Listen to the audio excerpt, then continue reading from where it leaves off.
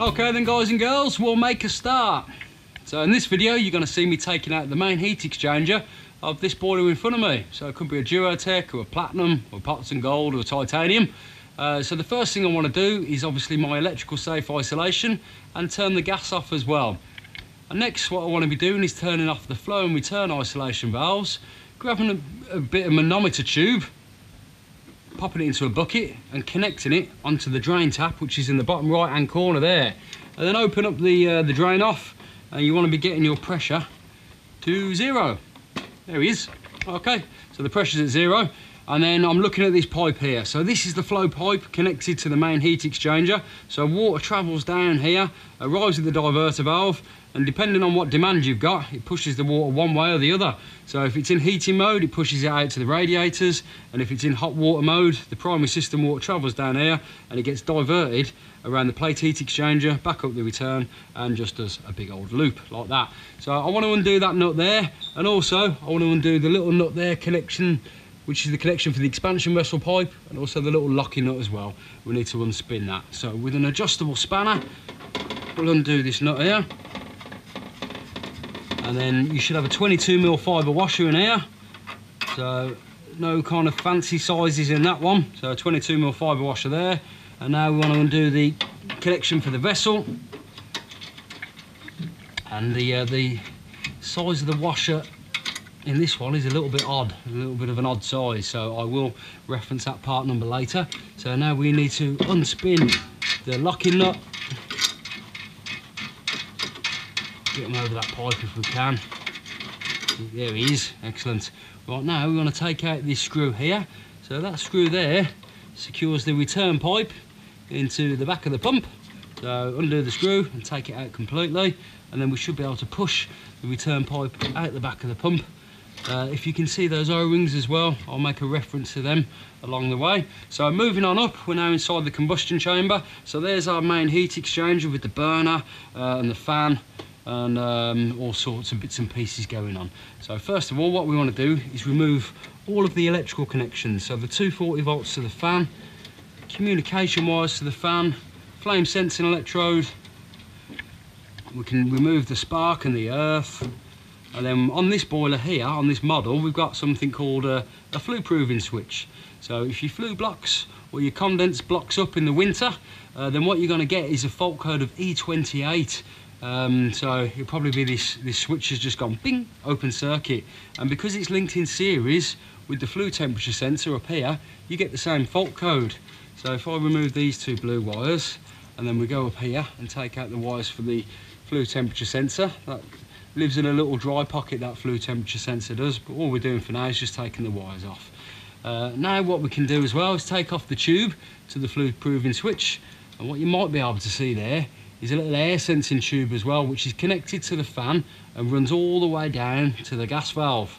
Now it's really important that when you do take it off at the end when you're putting it all back together don't forget to put that back on in the right place because otherwise your boiler won't work. Okay? So um, let's have a look where are we.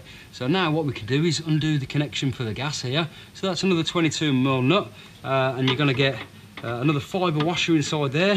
But what you've also got inside here as well is a little brass injector. Now it is quite possible that you can uh, sometimes lose that injector if you just whip it all out. Um, so what I'll do now is show you a trick on how not to lose the injector.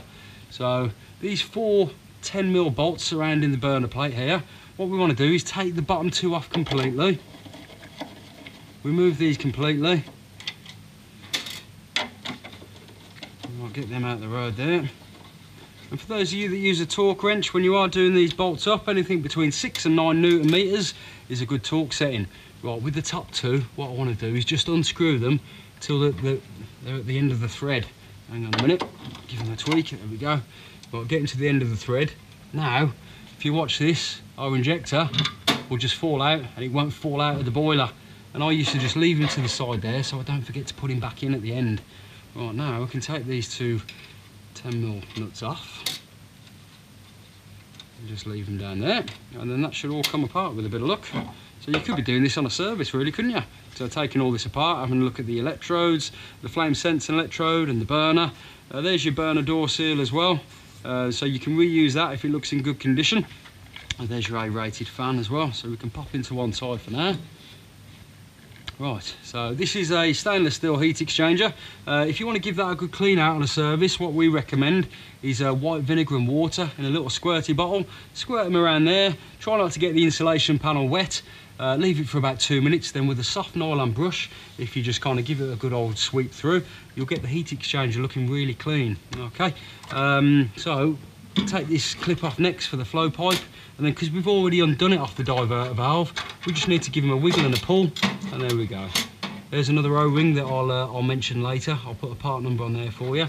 So the return pipe at the back we just need to pull the clip towards us again because it's the same clip. Just drop him down. Because we undone him off the pump earlier we just take him down like that. Right, so this is the condense pipe here off the main heat exchanger. I just need to grab a set of grips and just pinch this little clip together and then we'll be able to drop him over the, um, the little rubber pipe like so. So drop him down, pull the pipe off. There we go. Now, I'm just going to take these two screws out of this bracket here. And then I've got the same bracket over the other side as well. So just remove these two screws. There we go. And the bracket. Oops, there's the bracket. Put that screw out. And then the other screw. And then that bracket should come with it. There we go, here he is. Pop him down there. And now what I want to do is undo that screw that secures the bracket that sits just above the rainwater drip tray. So if I pop that screw out, and then pull the bracket towards me. There we go. All I need to do is just push the rainwater drip tray up and now pull the heat exchanger towards me and out it comes. So there we go. Nice and easy. So I hope you found the video useful guys and girls. I hope you're all staying safe and your families are doing well. Until next time, take care.